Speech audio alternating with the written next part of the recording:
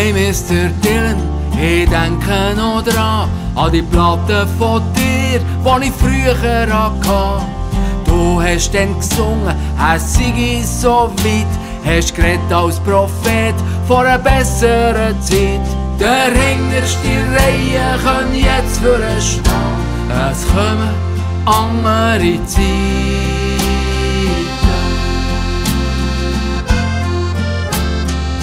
Jetzt 50 Jahre später frage ich mich, soll das, was wir jetzt haben, das Bessere sein?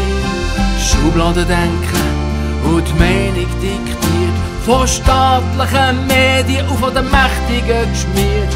Es ist doch zum Kotzen, wenn die Zeitung auftust, sind das die anderen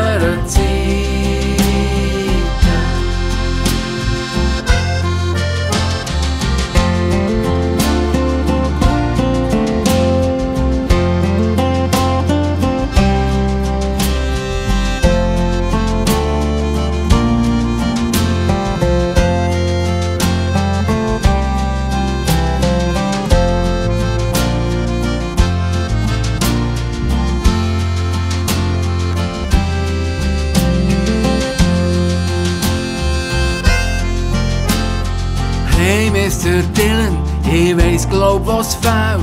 Lieber als die Wahrheit haben die meisten halt Geld. Ihr Jungen von heute, nicht das Schicksal in die Hand.